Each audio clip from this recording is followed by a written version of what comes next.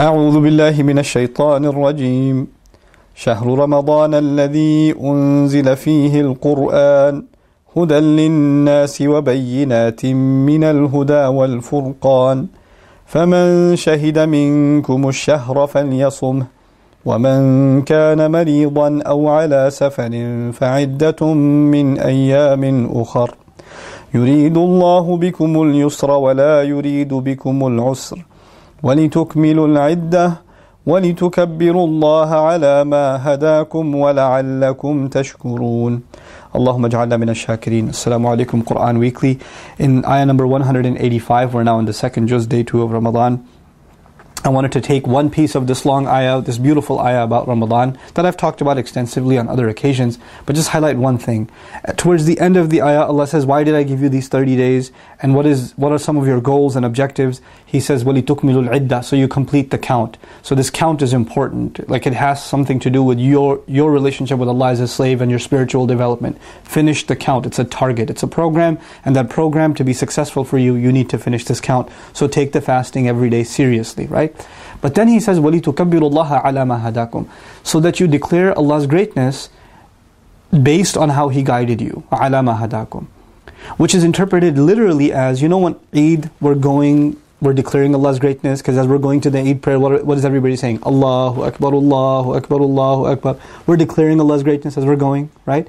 But what's really awesome about this is, it's not limited to the act of Eid when we, we excel and we do a lot of takbir, we say Allah, a lot of Allahu Akbar. Rather, it's actually also something very powerful that you maintain the, the recognition that Allah is greater and the priority of Allah is a greater priority than all the other sins and all the other disobedience you're up to now that this count of days is over. 30 days is enough for you to establish a habit of obeying Allah and being conscious of Him and watching your eyes and keeping control of your tongue and all of these things. And if you can even stay away from halal things for 30 days, then staying away from haram things should be a lot easier for you once these 30 days are over. So at the end of the ayah of Ramadan, he says, So you can truly declare my greatness now that this month is done, based on how I've guided you. وَلِتُكَبِّرُ اللَّهَ عَلَى مَا هَدَاكُمْ So you could declare Allah's greatness based on how He guided you. So this is this is really the juice, the fruit of Ramadan is going to be, you know how Allah becomes a big priority in Ramadan?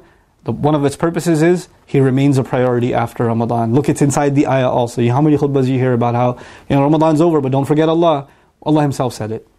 Allah Himself said that, وَلِتُكَبِّرُ اللَّهَ عَلَى مَا هَدَاكُمْ وَلَعَلَّكُمْ تَشْكُرُونَ And so that you could be grateful. You should be grateful you get to make Allah a bigger priority in your life than your own, your own personal whims, your own personal desires, your own temptations right? You get you are you should be grateful that so much of humanity doesn't have this honor and you do. May Allah Azza wa make us of the grateful and may Allah make us of those that when these beautiful 30 days are over, that we truly declare Allah greater in everything that we do and we lower ourselves and humble ourselves before His commandments and before, you know, and make Him the priority in our life.